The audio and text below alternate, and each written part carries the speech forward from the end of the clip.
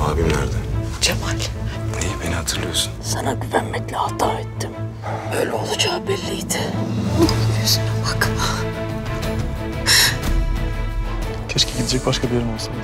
Benim de. Dur! Öpersen geri dönüş yok biliyorsun değil mi?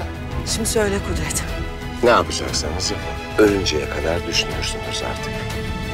Hadi vur beni.